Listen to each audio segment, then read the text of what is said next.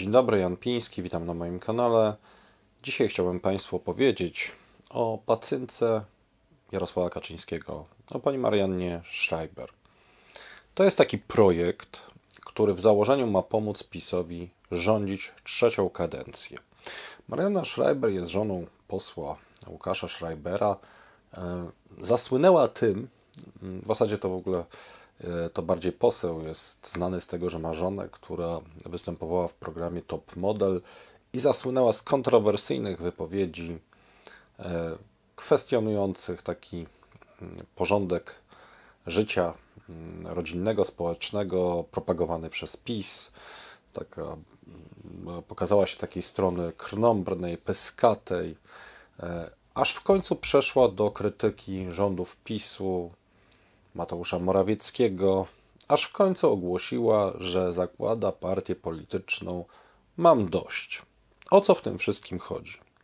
Drodzy Państwo, parę, w ciągu ostatnich kilkunastu lat na polskiej scenie politycznej pojawiały się tuż przed e, wyborami e, takie efemerydy, partie, które zdobywały poparcie, czasem nawet duże, czasem nawet wchodziły do parlamentu, a tak naprawdę ich celem była kanalizacja, czyli tak jakby powiedzieć, zbieranie głosów ludzi zdezorientowanych. W Polsce jest dużo osób, które mają dość obecnego, obecnych, obecnej władzy, ale z drugiej strony jeszcze, jeszcze mają jakieś kiepskie wspomnienia z poprzednią władzą, a w ogóle są chwiejne i podejmują decyzje pod wpływem chwili. W 2011 roku tych ludzi zagospodarował Janusz Palikot.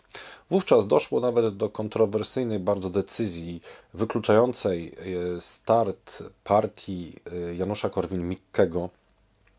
Wtedy to, bo tam miały te różne partie w różnych latach się nazywały, wtedy to był Kongres Nowej Prawicy e, z ponad połowy okręgów i w rezultacie to właśnie ruch Palikota zgarnął głosy niezadowolonych i znalazł się w parlamencie. Janusz Palikot przez moment nawet miewał kilkunastoprocentowe poparcie.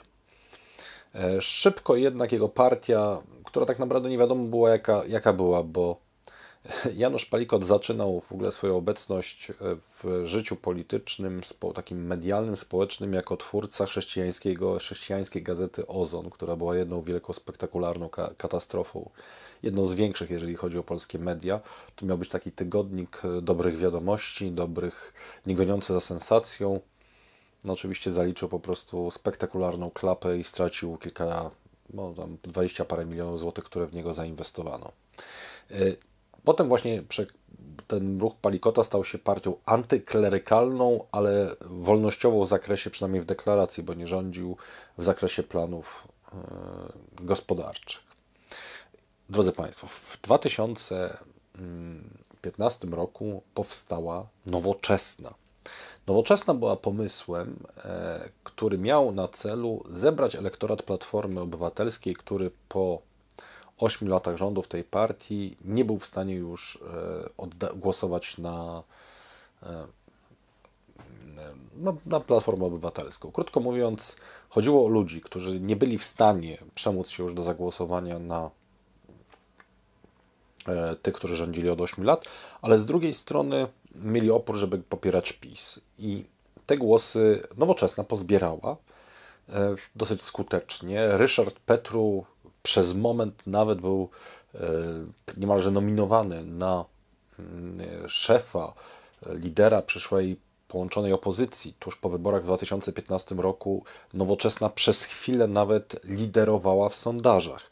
Potem jednak się okazało, że Petru, który dość dobrze się poruszał w mediach, w, w kwestiach gospodarczych, jako polityk zaczął popełniać mnóstwo gaf, e, Niektóre z tych gaw były śmieszne, niektóre były smutne. E, krótko mówiąc, okazało się, że format lidera dużej partii zdecydowanie go przerasta, bo to wszystko było, drodzy Państwo, tak tworzone nie oddolnie, a odgórnie. To była inżynieria polityczna. W zamyśle nowoczesna miała ułatwić rządzenie. Utrzymanie się układu władzy, tylko takiego bardziej koalicyjnego, czyli że osłabiona platforma, która by przegrała wybory, utworzyłaby koalicyjny rząd jako najsilniejsza partia, ale jedna z, na przykład właśnie z Nowoczesną, SLD i PSL-em, albo jakoś coś w tym rodzaju, tylko że to wszystko zakładało, że prezydentem będzie Bronisław Komorowski. Teraz jest analogiczna sytuacja, tylko że prezydentem jest Andrzej Duda. PiS już wie, że wybory, wyborów yy, raczej nie wygra, a jak yy, nawet to będzie to jakieś minimalne zwycięstwo, ale powiem Państwu, że jest, z mojego punktu widzenia to jest po prostu praktycznie niemożliwe, bo musiałoby zakładać, że za mm, kilkanaście miesięcy sytuacja gospodarcza w kraju yy, nie będzie tragiczna, a będzie. Dlatego PiS już zakłada, że te wybory przegra, że będzie miał poparcie 25% pewnie w okolicach tych maksymalnych i stara się rozdrobnić, stworzyć jakiś tam potencjalnych koalicjantów, krótko mówiąc, zrobić bałagan w parlamencie. I właśnie partia Marianny e, Schreiber, mam dość, ma być takim palikotem e, Kaczyńskiego. To znaczy, ona będzie ich nawet atakować. Będą ją promować niespecjalnie rozgarnięte media opozycyjne, bo piękna kobieta, gadająca teksty i jeszcze atakująca co jakiś czas e, Kaczyńskiego i, e, Morawieckiego, ale jakiś takich, no powiedzmy sobie, niespecjalnie przekonujący sposób. To wszystko ma na celu po prostu wywołać zamęt i efekt nowości. E, materiały, że tu bunt, w ogóle te historie, że ona się buntuje przeciwko mężowi, mąż jest atakowany nawet przez kolegów partyjnych, jak to możliwe, że w PiSie on nie panuje nad żoną. To są wszystko piękne tematy medialne, które tworzą kompletnie zastępczy obraz. Ludzie się tym emocjonują. Kandydatka idzie do góry. To wiadomo, że to jest sojusznik Jarosława e, Kaczyńskiego. E, to znaczy, on będzie teraz się, PiS będzie się starał promować i tworzyć e, siłę, która będzie odciągała głosy ludzi niezadowolonych. Będzie przejmowała głosy wyborców, którzy e, zdenerwowani drożyzną, inflacją, zdenerwowani tym, co PiS nawyrabiał e, w ostatnich latach, będą szukali swoich, no, swojego, sw swoich nowych wyborców. Oni chcą tutaj wykorzystać fakt takiej kampanii, że no okej, okay, no tracimy wyborców, ale obrzydzimy ludziom opozycję do tego stopnia, żeby zdezorientowali, poszukali czegoś nowego. Tą alternatywną ma być właśnie Marianna Schreiber. Zobaczycie Państwo, że to będzie nowe odkrycie, e, to będzie ta osoba i te osoby, które stoją za tym projektem, bo to jest bardzo przemyślany projekt. Osobiście tylko nie znam jednej rzeczy. Nie wiem, czy od początku, już dwa lata temu, kiedy zaczęło być o niej głośno, czy cała, się, cała, cała jej taki bunt medialny na łamach TVN-u, czy od początku był ustawiony, czy dopiero jak ona zaczęła, mówiąc brzydko, brykać i to ktoś spojrzał i dostrzegł potencjał.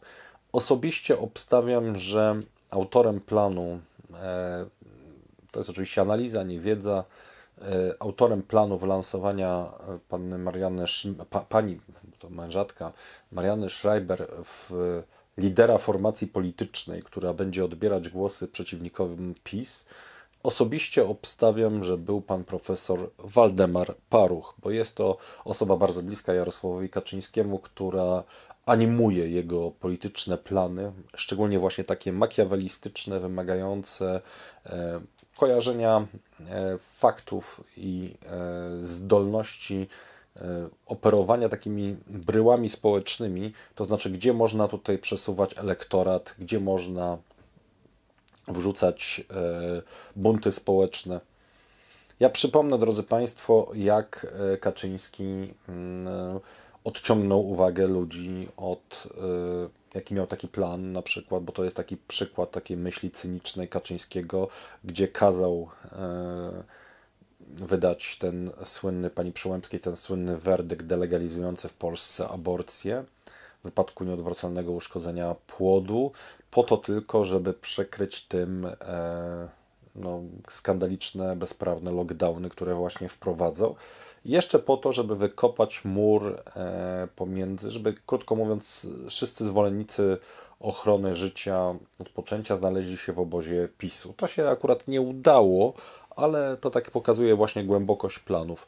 Plan Mariana Schreiber ma być e, Januszem Palikotem, Palikotem Jarosława Kaczyńskiego. Ma odciągać uwagę, ma ściągać media, ma przekonywać wyborców, odcinać się, atakować, gryźć, odciągać uwagę przede wszystkim mediów opozycyjnych. Krótko mówiąc, nie jest to żadna nowa jakość politycy, jest to zagrywka. Jedna z wielu, drodzy Państwo, bo na pewno nasz Schreiber się nie skończy i na jej partii mam dość.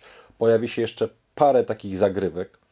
W 2019 roku na przykład e, zamarkowano, e, wrobiono niemalże pana profesora Roberta Gwiazdowskiego w robienie ruchu politycznego, żeby właśnie odciągał głosy od Platformy Obywatelskiej, od Konfederacji, a jednocześnie zadbano o to, aby nie miał wystarczającej siły, aby e, stać się znaczącym podmiotem na scenie politycznej, czyli takie dwa w jednym.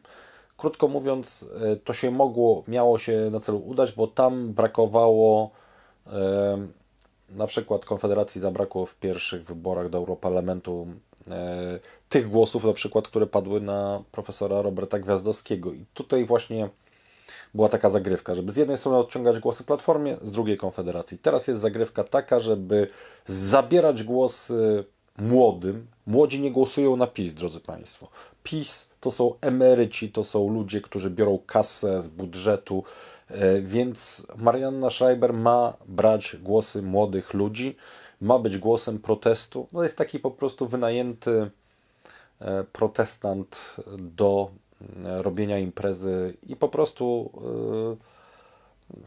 e, to jest takie wykorzystywanie, bo Kaczyński oczywiście zadba o to, żeby pani Schreiber miała za co robić tą kampanię. Ona dostanie i to już widać, to jest profesjonalnie przyty produkt. Dlatego, drodzy Państwo, nie dajcie się na to nabrać. To jest pacynka Kaczyńskiego, to jest twór, który ma umożliwić PiSowi e, zwiększyć jego szanse na utrzymanie władzy. Drodzy Państwo, jeżeli się podobało, to proszę o subskrypcję kanału, łapkę do góry i udostępnianie tego materiału jak najszerzej. Zapraszam Państwa na portal wieści24.pl, którego jestem redaktorem naczelnym, a Państwu polecam magazyn Historia na weekend, którego jestem wydawcą i jednym z autorów. W bieżącym numerze, drodzy Państwo, jest świetny tekst opowiadający o tym, jak Władimir Putin rozumie historię Polski i naszej części Europy. Ważny tekst, dlatego że dzięki temu możecie Państwo zrozumieć, co kieruje Putinem i dlaczego atakuje Ukrainę. I także niestety konkluzja będzie taka, że na tym się, drodzy Państwo, nie skończy. Polecam.